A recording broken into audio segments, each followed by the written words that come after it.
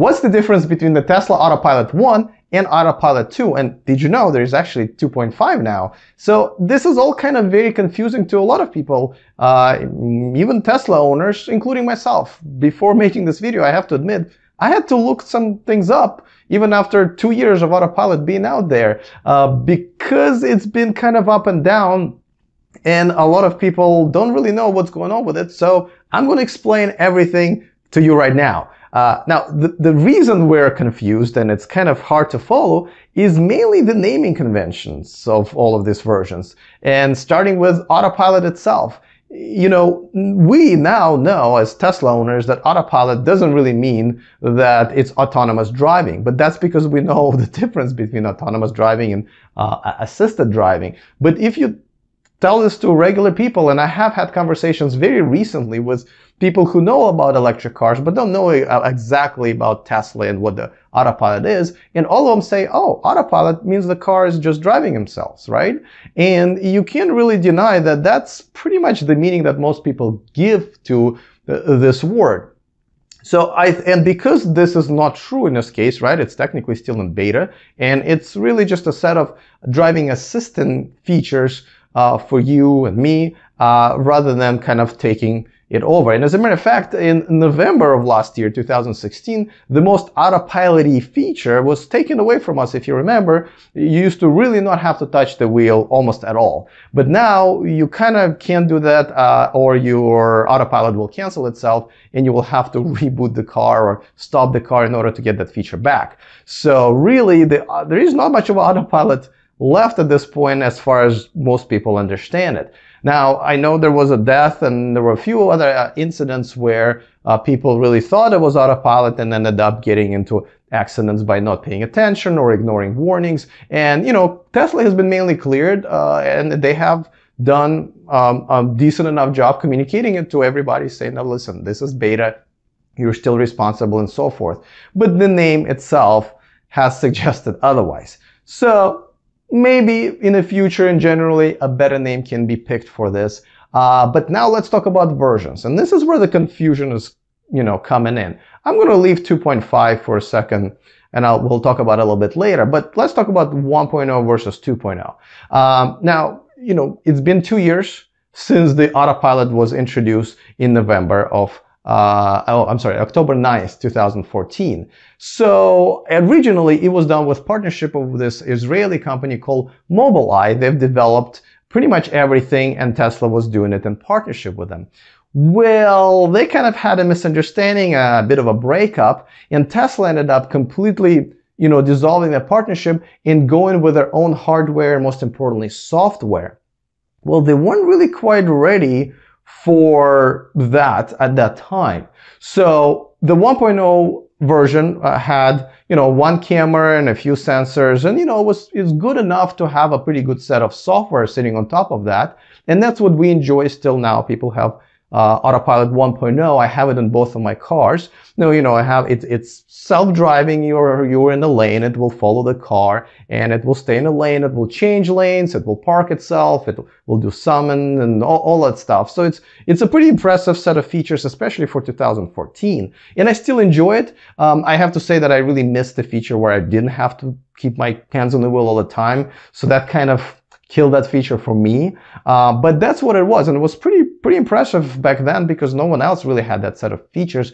Now everybody else is kind of catching, catching up to that. But at that time was pretty cool, even though it was only two years ago.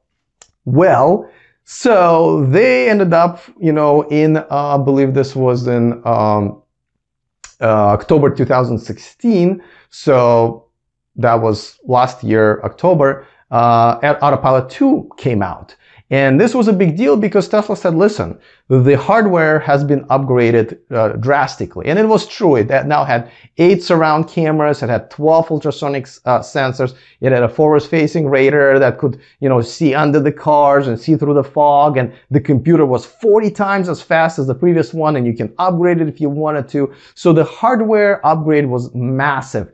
And Tesla said, listen, we, we, that's it.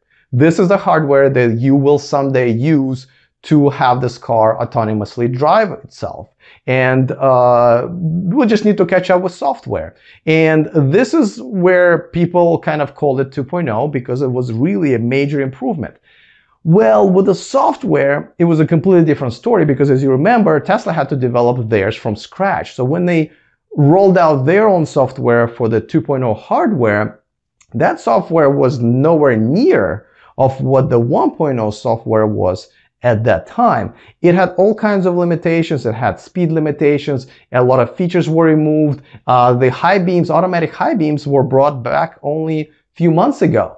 So it took them a while to put all of those features back. Um, a lot of times people said that the, the, the uh, Autopilot 2 software would only see cars in front of, of, of your Tesla and not on the side like the 1.0 was able to see. It was really correcting itself a lot of times. So your ride was kind of really kind of weird and it's really uh, uh, shifty.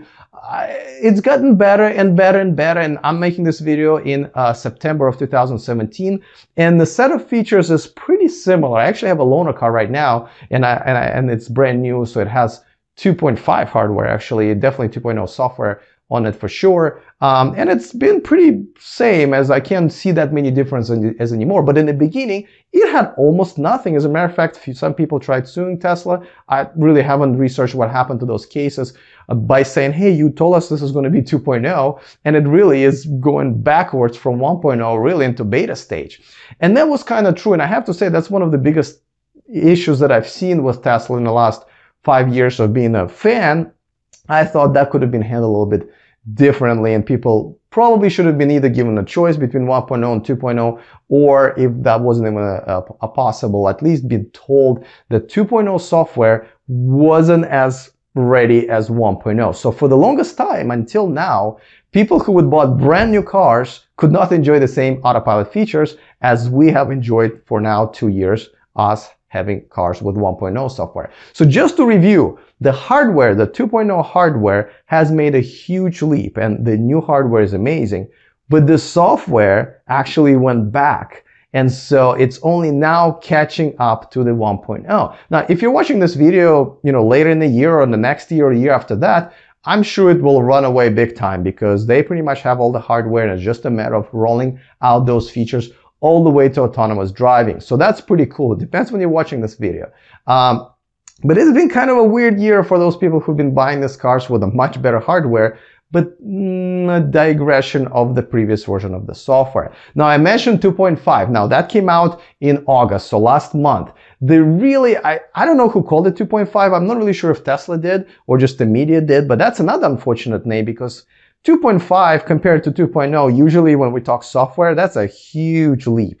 It's halfway to the next version. But in this case, they just uh, created a, they, they put a, a, extra hardware to have sort of a backup processing power. So they made the computer a little bit more powerful. And that was pretty much it. As a matter of fact, Tesla has been really trying to downplay it and saying that's just a little tweak. And it's very unlikely that that they even need it. So if you have 2.0 hardware, you will still be able to do autonomous driving whenever they have that software. And if you won't, they will upgrade it for free at that time. So they will keep their promise, which is great and honorable, obviously. But 2.5 is probably not the right name for it. And, uh, but the cars that are being made right now have that hardware with an extra processing power. Though I've mentioned earlier that you can replace your entire computer with 2.0 uh, hardware into something more powerful in the future, and that will be your upgrade, really.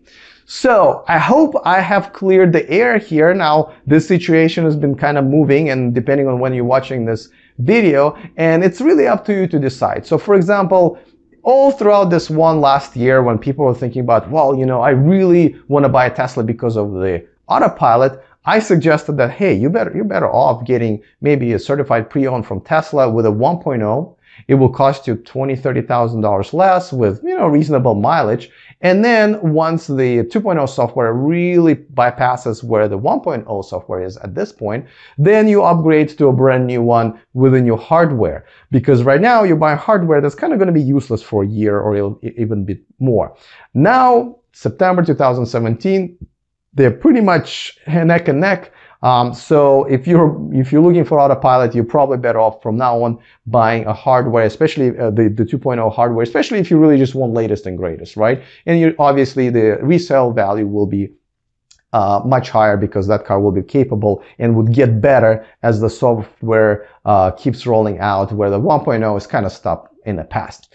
All right, so um, I hope I cleared the air here. Uh, just like I said, I had to do some research to to figure it all out. I hope I hope you guys. I know if you have any comments, if you have any questions, definitely I'll be happy to answer. Probably will have to do a little more research, but that's perfectly fine. Uh, put them down there in the comment section. And if you think I missed something or if there's some news that happened after I made this video, go ahead. I'd love to get the those comments rolling. I'd love to get this thread uh, upgraded, updated with the news. So uh, by all means, I always love comments. So that's pretty much it. I will see you guys next time and remember to stay charged.